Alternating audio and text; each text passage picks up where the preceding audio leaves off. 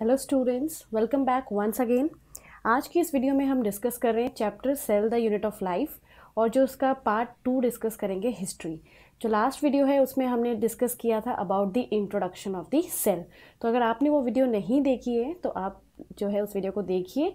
Link आपको description box में मिल जाएगा, ठीक है? तो चलो शुरू करते हैं. तो सबसे पहले हिस्ट्री शुरू करने से पहले कुछ टर्म्स इंपॉर्टेंट हैं जो आपको पता होने चाहिए.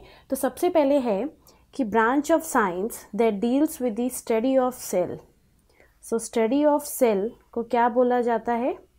Study of cell is known as cytology या फिर इसको और क्या बोलते हैं? सेल बायोलॉजी ठीक है? तो स्टडी ऑफ़ सेल को क्या बोला जाता है? साइटोलॉजी और सेल बायोलॉजी राइट अब देखते हैं कि who is the father of cytology father of cytology. तो साइटोलॉजी के जो फादर हैं, वो हैं Robert hook.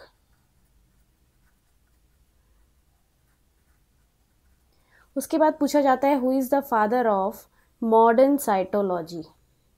Father of modern cytology. So modern cytology के जो फादर हैं, वो हैं Carl P Swanson Carl P Swanson so ये कुछ इंपॉर्टेंट टर्म्स हैं जो आपको पता होने चाहिए। अब हम हिस्ट्री शुरू करते हैं। तो सबसे पहले हम देखेंगे कि सेल की डिस्कवरी किसने करी। So first is discovery of cell तो सबसे पहले जो सेल डिस्कवर हुआ था एक्चुअली वो एक डेड सेल था, वो लिविंग सेल नहीं था। और उसकी डिस्कवरी सबसे पहले करी थी by Robert Hooke so Robert Hooke ने सबसे पहले सेल को डिस्कवर किया। इसीलिए रॉबर्ट हुक को हम लोग क्या बोलते हैं? फादर ऑफ़ साइटोलॉजी क्लियर है? रॉबर्ट हुक ने कौन सा एक्सपेरिमेंटिंग मटेरियल लिया था? किस मटेरियल को यूज़ करके उन्होंने सबसे पहले सेल को ऑब्ज़र्व किया था? तो जो मटेरियल उन्होंने लिया था, वो था थिन स्लाइस ऑफ़ कॉर्क और कॉर्क जो है, वो कैसा सेल होता है? डेड सेल कॉर्क एक डेड सेल होता है। सबसे पहले रॉबर्ट हुक ने कॉर्क को ऑब्ज़र्व किया था तो इसीलिए बोलते हैं कि सबसे पहले जिस सेल की डिस्कवरी हुई थी वो एक डेड सेल था, राइट? उसके बाद कई बार पूछ लिया जाता है कि जो कॉर्क सेल उन्होंने लिया था, वो कौन सी ट्री से लिया गया था? तो कॉर्क जो लिया गया था, वो ओक ट्री से लिया गया था and the scientific name of that tree is Quercus suber scientific name जो है, जहाँ से कॉर्क पार्ट लिया गया था, उस ट्री का साइंटिफिक नेम है। क्वेरकस स्यूबर ओके सो यहाँ पे जो भी रॉबर्ट हुक ने काम किया, उन्होंने सेल को सबसे पहले ऑब्ज़र्व किया, वो सारा वर्क उन्होंने अपनी एक बुक में पब्लिश किया था and the name of that book is Micrographia so Robert Hooke published all his work in a book which is known as Micrographia तो ये भी बहुत इंपॉर्टेंट है एग्ज़ाम पॉइंट ऑफ़ व्यू से नीट में इसमें से क्वेश्चन पूछ लिए जाते हैं, ठीक है? उसके बाद कई बार ये पूछते हैं कि रॉबर्ट हुक ने एक डेड सेल को ऑब्ज़र्व किया तो उन्होंने एक्चुअली उसमें क्या देखा? तो जब रॉबर्ट हुक ने कॉर्क सेल को माइक्रोस्कोप के नीचे रख के देखा तो उनको इस तरह के हनी कॉम्ब लेटिस लाइक कुछ कंपार्टमेंट्स दिखाई दिए और उन्हीं कंपार्टमेंट्स को उन्होंने क्या बोला कि ये जो कंपार्टमेंट्स हैं, ये क्या है? सेल एक सिंगल कंपार्टमेंट को उन्होंने क्या बोला? सेल क्योंकि एक्चुअली ये जो सेल था, ये डेड था, इसमें कोई साइटोप्लाज्मिक मटेरियल प्रेजेंट नहीं होगा। तो उन्होंने एक्चुअली क्या चीज़ ऑब्ज़र्व करी? पेपर में ये चीज़ पूछी जाती है कि रॉबर्ट हुक ने अपना जो एक्सपेरिमेंट किया, उसमें उन्होंने क्या चीज़ ऑब्ज़र्व करी? तो एज जो सेल थे, वो डेड सेल थे तो उनके अंदर लिविंग मटेरियल एब्सेंट था तो उन्होंने सिर्फ़ क्या चीज़ ऑब्ज़र्व करी? The outer most covering and the outer most covering is the cell wall ठीक है? तो कई बार पूछ लिया जाता है कि रॉबर्ट हुक ने एक्चुअली क्या चीज़ ऑब्ज़र्व की? तो यहाँ पे आप लोग बता सकते हो कि Robert Hooke actually observed cell wall क्योंकि वो एक डेड सेल था तो उसमें जो लिविंग मटेरियल है वो एब्सेंट था तो इसीलिए उन्होंने क्या चीज़ ऑब्ज़र्व करी थी? ओनली दी सेल वॉल वाला पार्ट और ये सारा जो डिस्कवरी है, ये कौन से ईयर में हुई थी? इन द ईयर 1665 ओके तो सबसे पहले जो सेल डिस्कवर किया, वो रॉबर्ट हुक ने डिस्कवर किया था and that was a dead cell अब हम देखेंगे कि सबसे पहले लिविंग सेल की डिस्कवरी कैसे हुई और किसने करी। तो अभी तक हमने देखा कि सबसे पहला जो सेल डिस्कवर हुआ था वो एक डेड सेल था। उसके बाद हम देखते हैं कि discovery of first living cell सबसे पहला जो लिविंग सेल है वो किसने डिस्कवर किया? सो so, इसका जो क्रेडिट है वो जाता है एंटन वॉन लिवन हुक को। So it was discovered by Anton van Leeuwenhoek in the year 1674 1674 में सबसे पहले एंटन वॉन लिवन हुक ने फ़र्स्ट लिविंग सेल को डिस्कवर किया था।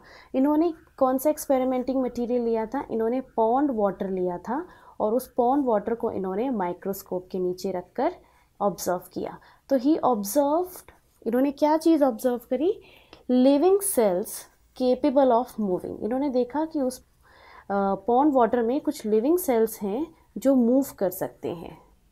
ठीक है? और वो किस तरह के सेल्स थे? जैसे कि बैक्टीरिया प्रोटोजोआ स्पर्मेटोजोआ जो स्पर्म सेल्स होते हैं एंड आर ठीक है?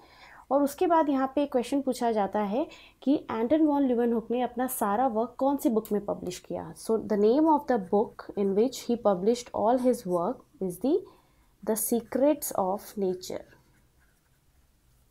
the secrets of nature तो ये बुक्स की जो नेम है, ये बहुत इंपॉर्टेंट है। रॉबर्ट हुक ने सबसे पहले अपना सारा वर्क माइक्रोग्राफिया में डिस्क्राइब किया था और एंटन वॉन लिवन हुक ने द सीक्रेट्स ऑफ़ नेचर में।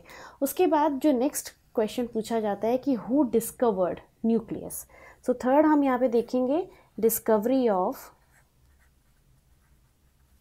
nucleus so nucleus को सबसे पहले डिस्कवर किया था रॉबर्ट ब्राउन ने.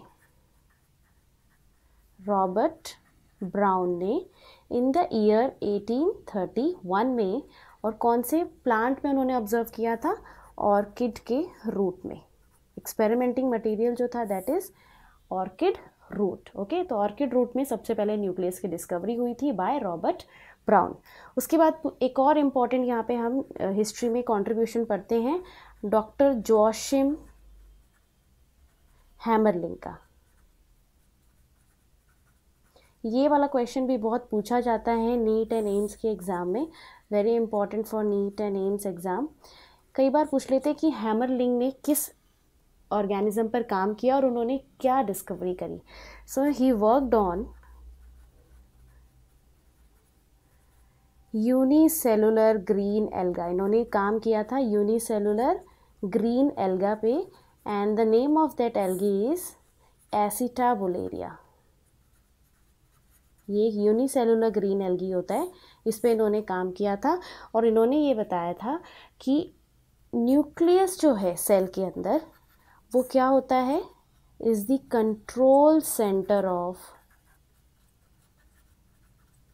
cell Hammerling ने बहुत इंपॉर्टेंट डिस्कवरी करी थी कि nucleus is the control centre of cell उन्होंने न्यूक्लियस को सेल का कंट्रोल सेंटर क्यों बोला? क्योंकि न्यूक्लियस जो है इट कंट्रोल्स न्यूक्लियस क्या करता है? Controls the development of an organism. एक ऑर्गेनिज़म का डेवलपमेंट कौन कंट्रोल करता है?